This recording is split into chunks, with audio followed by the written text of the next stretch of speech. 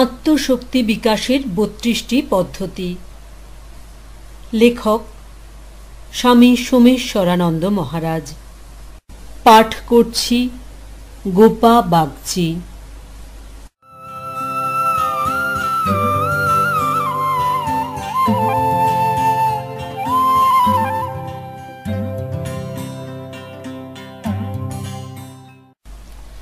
শান্তি আসে শান্ত মন থেকে। আপনি ওষুধ কিনতে পারেন, কিন্তু সুন্দর স্বাস্থ্য কেনা যায় না। আপনি সুন্দর বালিশ ও শয্যা কিনতে পারেন, কিন্তু ঘুম নয়। বাংলো বাড়ি কিনতে পারেন, সুখী পরিবার নয়। টাকা দিয়ে কুশলী ইঞ্জিনিয়ারকে আপনি আপনার সংস্থায় রাখতে পারেন, কিন্তু তার আন্তরিকতা পাবেনই এমন কোনো কথা নেই। বিশ্বের শ্রেষ্ঠ পেন্টিং আপনি কিনতে পারেন, কিন্তু সৌন্দর্যের অনুভূতি টাকা দিয়ে কেনা যায় না। সব রকম কসমেটিক্স আপনি টাকা দিয়ে কিনে আনতে পারেন, সৌন্দর্য কেনা যায় না। আপনি মিস ওয়ার্ল্ডকে বিয়ে করতে পারেন, কিন্তু টাকা দিয়ে ভালোবাসা পাওয়া যায় না। টাকা দিয়ে আপনি সবচেয়ে ভালো গাড়ি কিনতে পারেন। মানুষের সম্মান টাকা দিয়ে কেনা যায় না। ইন্দ্রিয়গুলি আপনাকে সুখ দিতে পারে। শান্তি নয়। শান্ত থেকে শান্তি। মন যখন শান্ত হয়, তখনই আসে শান্তি। অভ্যাস পাঁচ। একটি চেয়ারে বসুন। ইজি চেয়ার হলেও চলবে। আরাম করে বসুন। চোখ বন্ধ করুন।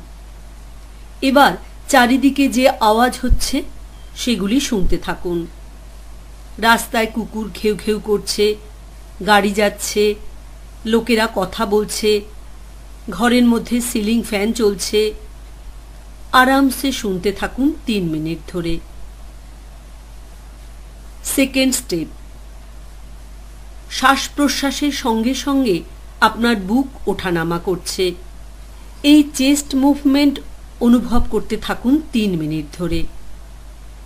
শ্বাস প্রশ্বাস যদি আস্তে হয়ে থাকে অথবা বেড়ে যায়, চিন্তা করবেন না।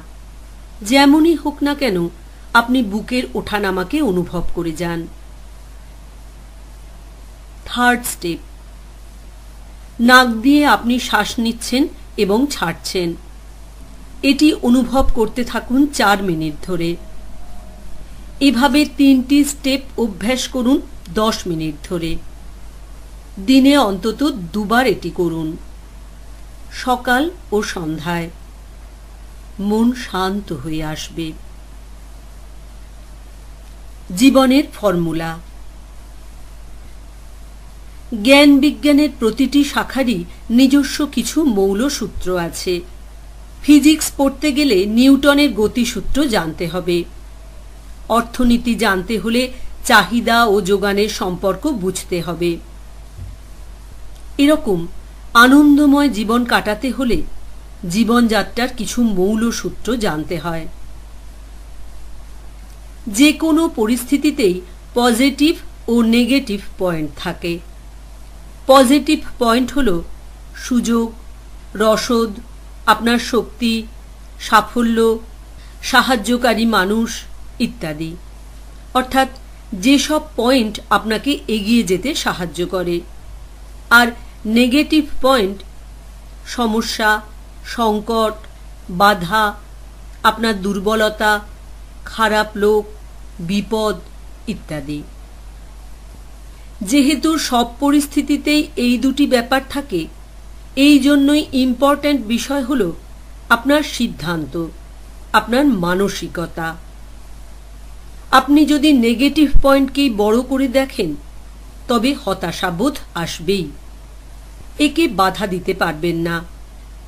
এজন্য প্রথমে দেখুন পজিটিভ পয়েন্টগুলিকে এগুলির উপরই জোর দিন। এই পয়েন্টগুলিকে সম্মিলিত করুন। এবার দেখুন আরও কি কি পজিটিভ পয়েন্ট আছে? সুযোগ আছে। কেউ কি রয়েছে যে আপনাকে সাহায্য করতে পারে? তার সাহায্য নেবার চেষ্টা করুন। এমনও হতে পারে, যতটা সাহায্য আপনি আশা করছেন, ততটা সাহায্য পাওয়া গেল না। তাই শেষ পর্যন্ত আপনি কি নিজেই পদক্ষেপ নিতে রাজি আছেন?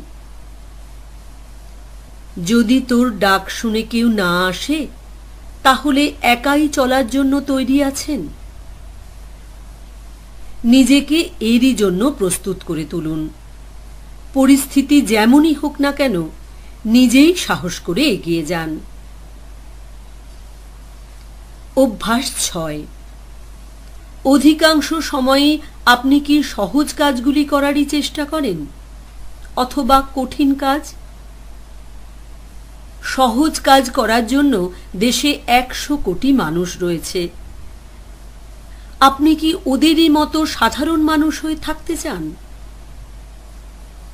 কঠিন কাজ করতে গিয়ে আপনি যদি ব্যর্থও হন, তবুও মনে রাখবেন, আটানব্বই শতাংশ ব্যর্থতার অর্থ দুই শতাংশ সাফল্য। আপনার উদ্দেশ্য হবে এই দুই শতাংশকে পাঁচ শতাংশ করা। তারপর দশ শতাংশ, পরে পঁচিশ শতাংশ। এভাবে এগিয়ে যাওয়া। কাগজে এমন তিনটি কাজের কথা লিখুন, যে কাজগুলি আপনার পক্ষে খুবই কঠিন। লেখার পর আবার পড়ুন ওইগুলি।